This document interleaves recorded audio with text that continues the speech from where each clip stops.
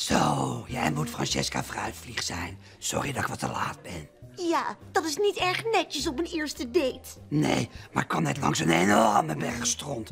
Ja, je bent een strontvlieg of je bent het niet. Steven Strontvlieg, aangenaam. Eeuw! Oh, sorry. Oh my god! Je mag hier geen eigen eten meenemen.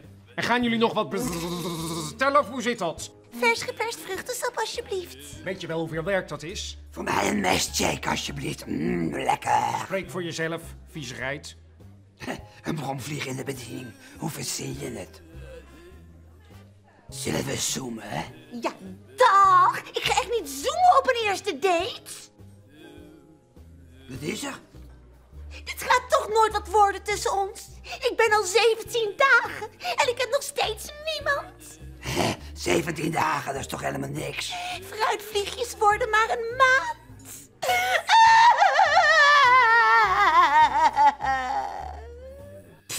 Aanstelster. Eh, sorry, maar wie ben jij? Ik ben Ellie. Ellie eendagsvlieg. Ja, zie dan maar eens een leuk iemand te vinden. Ha! Een eendagsvlieg. Wil je dan meteen even afrekenen? Je zal niet de eerste zijn die me met een openstaande rekening laat zitten. Het is niet altijd makkelijk om een strontvlieg te zijn.